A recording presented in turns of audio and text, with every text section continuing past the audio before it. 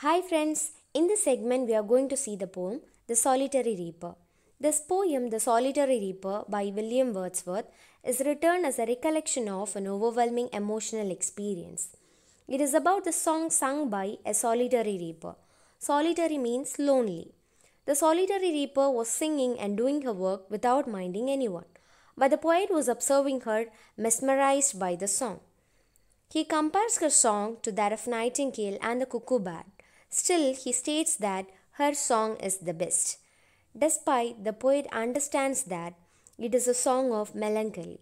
Melancholy means sad. The poet listened until he left that place, but the song never left him. Even after a long time he has come away from that place, he says he could still listen.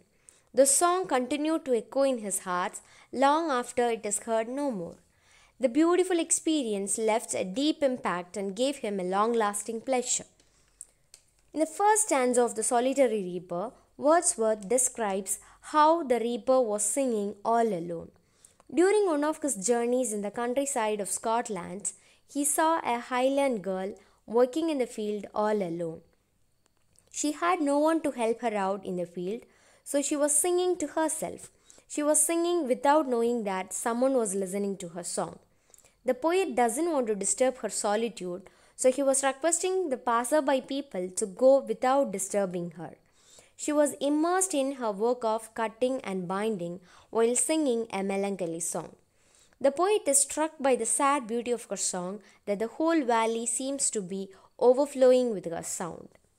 Coming to the second stanza, no nightingale did ever chant more welcome notes to weary bands of travellers in some shady haunt among Arabian sands.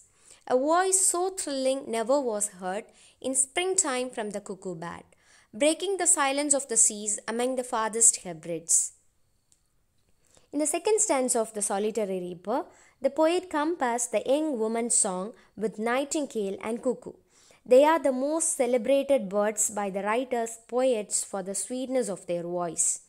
But he is telling that neither nightingale nor the cuckoo sang a song that is as sweet as her song.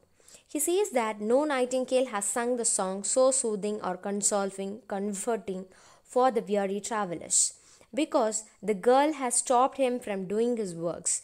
He is utterly enchanted that he says that her voice is so thrilling and penetrable, like that of the cuckoo bird, which sings to break the silence in the islands. He symbolically puts forth that her voice is so melodious and more than that of the two birds known for their voice.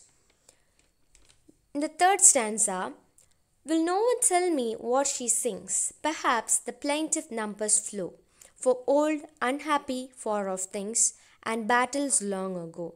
Or is it some more humble lay, familiar matter of today, some natural sorrow, loss, or pain that has been and may be again?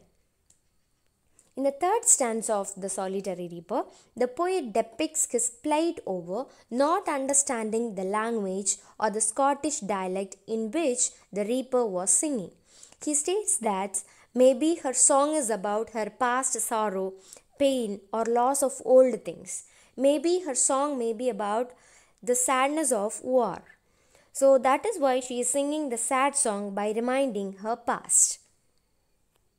In the last stanza, whatever the theme the maiden sang, as if her song could have no ending, I saw her singing at her work, and over the sickle bending.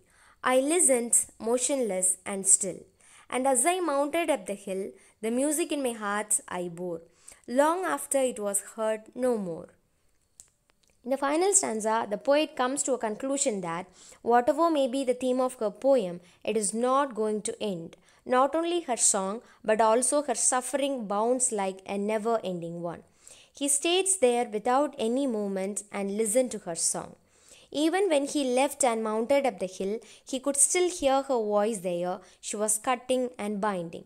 Even though the poet left that place, the song remained in his heart long after he heard that song.